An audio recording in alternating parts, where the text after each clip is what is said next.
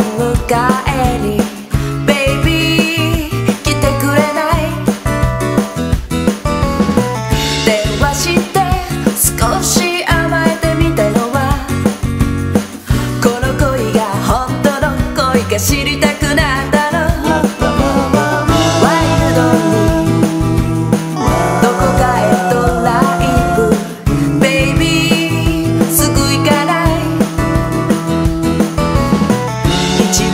好きな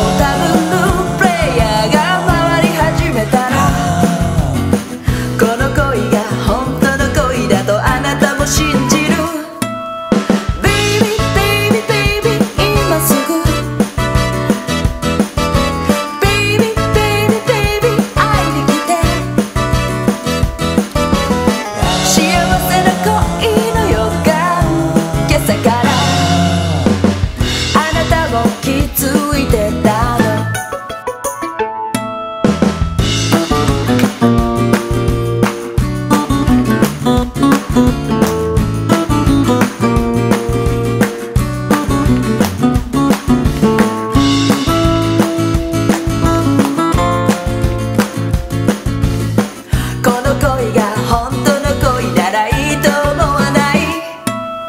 二人のベイビーミストなる二人のベイビーミストなる幸せな恋の予感今朝から。なんとなく気づいてた。今年の春はきっと嬉しいこと。